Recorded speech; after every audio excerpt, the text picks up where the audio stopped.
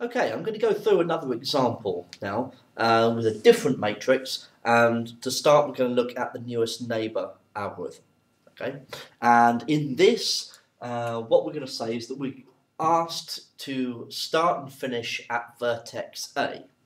Okay, so start and finish at vertex A in this case. So for the nearest neighbour algorithm, I'm going to try and do this without writing anything on the network. Okay, um, on the matrix. So we'll see how it goes.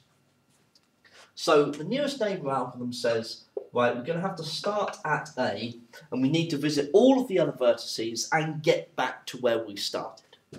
Okay, now the graph is complete, so that's sorted, that's all right. So we're starting at A, and the shortest route out of A will be to D. Okay, so to D, we're going to go first.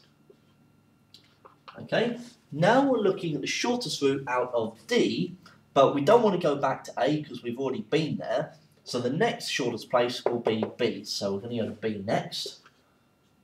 Okay, so B. Now from B, we've already visited A, we've visited D, so the next shortest place will be C, so that's C for 80, 180. Okay, then from C, uh, we visited A, we've gone to B, we've already visited D, so we've got to go to E. Okay, so C to E for 150. And then finally, we've got to get back to A, okay, by any means necessary, and that's 185. Okay, so we add all of these up together and we get 745.